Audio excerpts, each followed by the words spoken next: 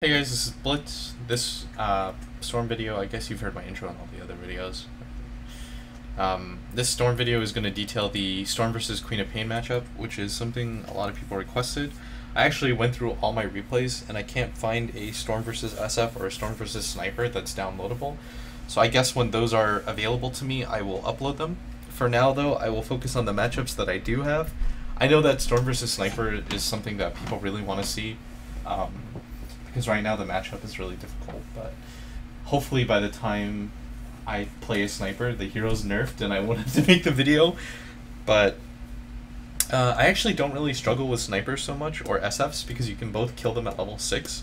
But a matchup that I used to struggle with quite a bit was the Storm versus Queen of Pain matchup. And the reason for this is because Dagger trades so efficiently. It makes you slow, it takes damage so you can't pop salves or bottle charges or anything like that and killing her at level 6 is really impossible. But something I really recently learned about the matchup that made it a lot easier was my ability, I guess, to be able to kill her um, really early. And so I just want to be able to show that to you guys really quickly. Um, I'm trying to upload videos right now, so I want to do multiple uploads at once. So I hope this isn't too bad on my computer. Okay, so it says upload pending. Hopefully this works. Okay, so in this matchup, I'm going to show you it's going to be Storm versus Queen of Pain. In all of the other matchups, what I did is that I briefly discussed my mindset going into the matchup and their mindset. And this is what you should do for every mid matchup. You should think to yourself, okay, where's that hero strong? What does that hero want to do to me before before you even get into the lane? And so how do I avoid that? So with Queen of Pain versus Storm, ask yourself really quickly, what is she going to try to do to beat me in the lane? You can pause the video here at this point and see if your thoughts match up with mine. Okay, so that was enough of a pause. Let's go into. Oh god, I'm so lame. Um, I know that a Queen of Pain will try to dagger me as soon as I enter the lane, right? And I know that a Queen of Pain wants to get into a right click fight with me, and she wants to get the level advantage so at level 6 she has enough burst damage to kill me. As a Storm Spirit, what do I do then? I avoid the dagger range because it's shorter than her right click range, and I play the dagger range repeatedly so by pulling back, and anytime she tries to skip the creep wave to try to dagger me, I'll try to play my high ground so that if she does eventually dagger me, she can't right click me on top of it. Because that's the combination that worries you. It's the fact that you get daggered and then right clicked. But if you think about it, if you play the high ground and she's on the low ground, what is she actually going to do? Queen of Pain doesn't have that much armor or HP, and so you're okay. The key to this matchup is that in all the other matchups, I actually only had two pull tangos or I had my own set of tangos, in this matchup, it's absolutely imperative that A, you get pulled, or B, you buy the max amount of regen that you can. So buying something like a salve is really helpful, um, because tangos just don't really cut it if you're getting right-clicked a lot. And just allowing yourself to not get killed pre-bottle is the key here. Because once you get your bottle, if you really think about it, the matchup becomes a ton easier. She can't really spam Scream on you, she can only use the uh, ticks from the dagger, and so when that happens, you're okay. So I actually have two matchups re replays loaded. Um, I guess I'll watch this one first. I haven't actually seen these, so this will be the first time. But hopefully I do what I detailed out here. And if I didn't, then I'm a shitter, and you shouldn't be watching anyways. So she picks Queen of Pain after I pick Storm. There's a Silencer in the game too. I believe I win this though. It doesn't really matter. Silencers don't really bother me. So Notice that I never go for the block. There's no real point in it. I think that it's just really inefficient to do it. So, um, let's just show the lane really quick. Alright, so she decided to go for the bounty rune to help her team secure. This is pretty common. I get daggered off the bat, but I'm playing my high ground. I shouldn't have let her dagger me that easily. And I'm actually going to right-click that creep. Don't get that one, though. But I'm playing back in and out. This guy comes over. Wow, I didn't realize this. This is a bad replay to watch now. Alright, I'm gonna exit out of this one. I don't want to see that one anymore. I, I definitely don't want to show you guys a matchup where I, I had the advantage from the start. I don't think that's very accurate. There are, there aren't a lot of vengeful spirits that are gonna come out and just right click for you. So we'll just skip the doozy that one. I don't want anyone in the chat comments also to accuse me of um, having an easy matchup. I want this matchup to be as miserable as possible for me. So I bought my own set of tangos in this one. For some reason, um, I wasn't able to get any extra regen. Oh, I sold it because he gave me tangos. Sick. This makes things a lot easier. I believe I bought regen here. Buy regen here, Will. Do it for me. Maybe I don't. You should buy a salve, though. I don't know how old this replay is. My name is Spooby Doo, so it should be pretty recent, but... I think I'm sitting here debating. Yes! I bought a salve. So I buy I buy a salve, and the point of the salve is just to kind of dissolve the uh, Shadow Strike. That's going to be the point of it.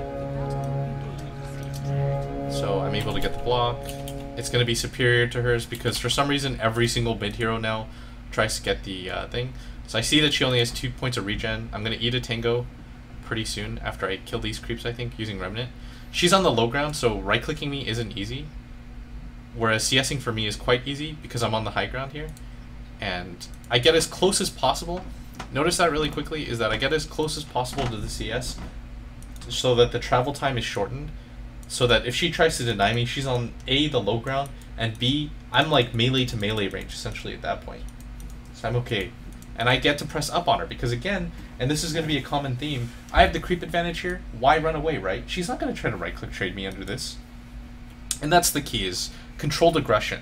You're not just meant to right click people to right click people, and you're not meant to get right clicked without playing aggressively at all. Like, even if I don't get any right clicks off on her at this point, the key is that I'm forcing her back sooner than she wants to, sooner than her comfort zone. And I still don't need a tango here, and I hate myself for it, but I think at this point I pull back and I go eat a tango. So I'm going to eat this tango because it's a bit further back. I'll save this tree for later. Um, now I'm on my low ground. Notice that she's trying to dagger me. What do I do? I pull away, right? I'm making this difficult for her. I go up. At this point, it's okay to trade hits with her because uh, she went on the low ground as well. And she only has two points of regen, right? Because she decided to go for a fast bottle. And I recognize that. And I'm okay with trading with her there. So now I just peel it back over and over again. I know she has no way of killing me. She used her scream to be able to get all those CS. And now this is the perfect example. I have my I have a salve up. I'm not going to lose any more HP. I'm really careful not to get my salve uh, my salve popped. And right now, in terms of CS, I'm up 6 to 3, and she's not at a whole lot, so she's going to bottle really quick. She'll have enough for dagger. But the key there is that I pulled away when she did have dagger. Notice that I'm pressing up on her now because I have the creep advantage. She just tried to dagger me there. I run back, and now I press forward again. I have the creep advantage. I think I'm actually going to wait to eat this tango because I want to be as close to full HP as possible so that if she does dagger me and stuff like that, I'm okay. So she's playing the high ground well now. I'm playing the low ground. I'm not getting myself um, right-clicked for no reason. A lot of people in this scenario would just walk into the middle here, get daggered, right-clicked four times, and then run away. What's the point of that? You don't gain anything for that. The key here is to play back, establish a zone where she has to chase me instead of CSing or denying. That's that's what you want to do is like force her to run after you to dagger. And the range on it is actually quite small. It's like this. It's like this is like the max range. So as long as I don't enter that and I play back, it's like dancing, right? I don't want to. I don't want my hit foot to hit hers when she comes up. I have to anticipate her pressing up, and that's the key: is to not get daggered here. Wait for the creep wave; it'll eventually pull down. There will be opportunities like this where you can CS, and now I have the creep advantage. And I did get right click like six times for it, but the key is that I've got my bottle now. I've got the creep advantage. She's not gonna play up on me because I have the creep advantage right there, and she goes for the rune instead which is acceptable. I realize that, and I have to take advantage of this as much as possible. Why she did go for the rune. I remnant for a lot of CS, and now she's coming back.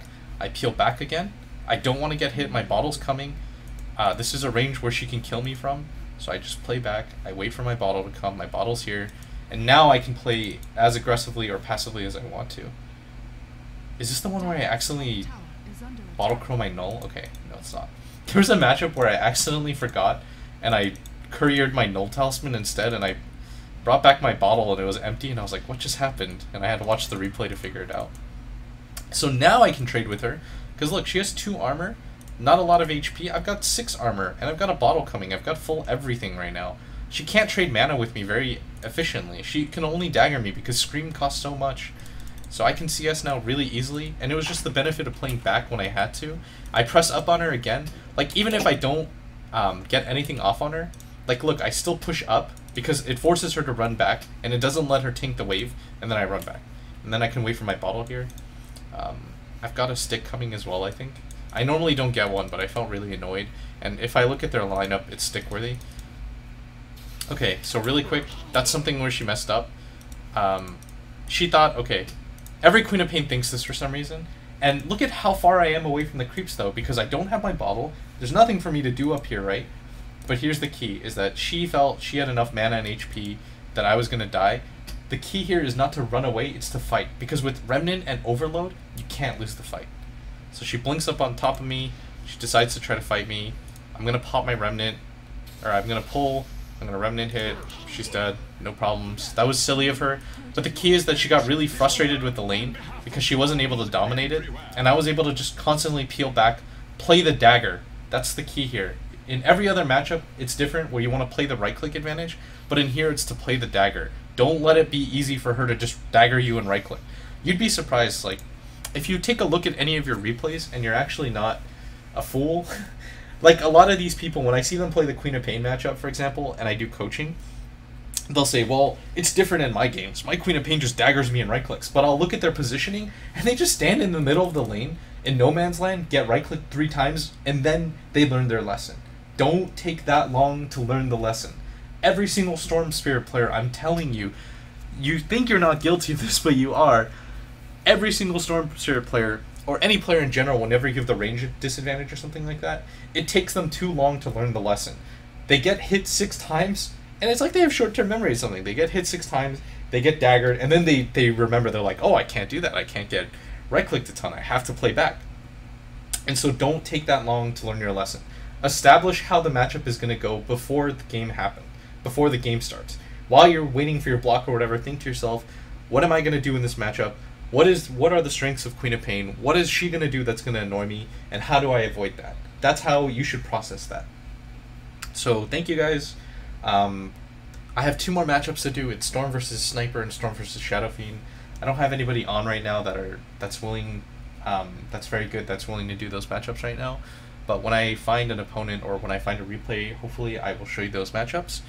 Um, I hope these are informative for you. I know a lot of them seem like obvious information. I think Lumi once put it best. He said, coaching or teaching somebody high level mechanics is like taking someone to the gym and they know what the equipment does. They just have to be made aware that it exists.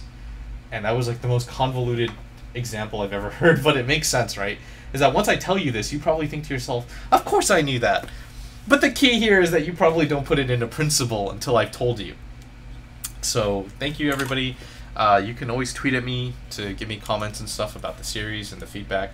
I think once I do uh, Storm versus Sniper and Storm versus Shadow Fiend, I'll be going over Shadow Fiend or Queen of Pain or one of the various mid heroes and detailing six or seven matchups. I think that's the limit of what I want to do, six or seven lane matchups. And then after I'm done with that series, I think the next one will be detailing how to play the mid game and farming patterns. If you're looking forward to that, ooh, farming patterns. And then the last one in my series will probably be how to play the late game and itemizations. So thanks everybody for watching. Um, hopefully I don't fall off the face of the earth. Goodbye.